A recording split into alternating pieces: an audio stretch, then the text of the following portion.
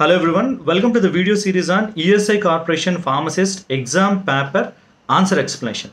In this video, I will explain four of the questions with complete answer explanation. Let us look at the questions first. The first question is, the procedure of removing ovaries is called. Options given are salpingectomy, oophorectomy, vasectomy, colostomy.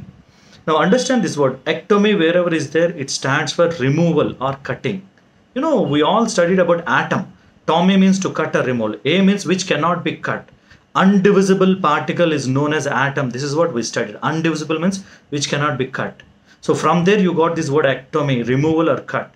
So salpingectomy means to cut or remove fallopian tubes. When there is an ectopic pregnancy, this is what is carried out. Salpingectomy means removal of cutting of fallopian tube. The other one, oophorectomy means removal of ovaries. This is what is the question about. The procedure of removal of ovaries is called as oophorectomy.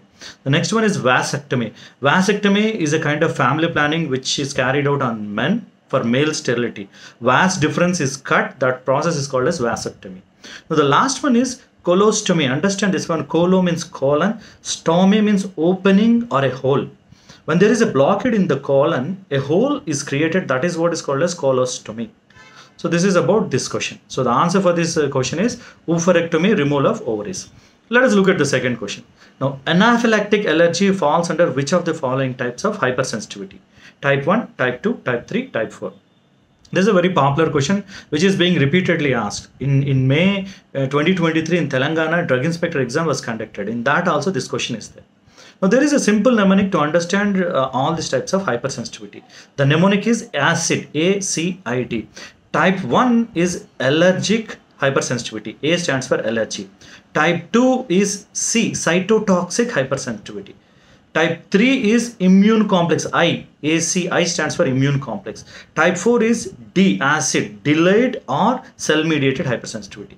So the question is about allergic anaphylactic shock falls under A, type 1. So option for this uh, answer uh, answer for this question is type 1 hypersensitivity. Now let us look at the third question.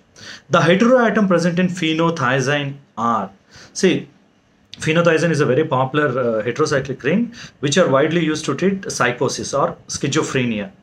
Uh, chlorpromazine, thioridazine, uh, uh, all these azines belongs to phenothiazine group. Now they are made up of three atoms. Two of them are phenyl rings and the center atom is made up of six atoms at 1 and 4 position sulfur and nitrogen are there. Phenothiazine, understand this one. See, 5 membered ring with nitrogen is azole. 6 membered ring with nitrogen is azine. 7 membered ring with nitrogen is azepine, benzodiazepines. 7 membered ring with nitrogen. Azine, 6 membered with nitrogen. Thiazine means sulfur and aza nitrogen is there. Very simple question. See, the word itself says phenothiazine. So, what kind of heteroatoms you have? Thia means sulfur, aza means nitrogen. Option 2 says sulfur and nitrogen. So, option 2 is the correct answer. Now, let us move on to the next question. Which of the following is an H2 receptor antagonist? Look at the options cyclizine, cimetidine, propoxyphene, loperamide. Now, cyclizine, buclizine, all of them are H1 receptor antagonists which are widely used to treat allergic reactions. So this is not the answer. Now second one is cimetidine. Cimetidine, ranitidine, nizatidine, famotidine, loratadine, all of them are H2 receptor antagonists which are used to treat ulcers. So the op- answer for this question is second one, cimetidine. Let us see the next one. Propoxyphene is an opioid analgesic agonist which is used to treat mild pain and, and used as a cough suppressant. The last one, loperamide. Loperamide is an anti-diarrheal agent. which reduces the peristaltic movement of the intestine and controls diarrhea. So these are all the options. So whatever the question, all these questions are asked in 2019 ESI Corporation Pharmacist Examination. So I'm telling you repeatedly, you take a question, look at all the options. That's how you develop your knowledge and concept understanding. I hope this is useful. All the best.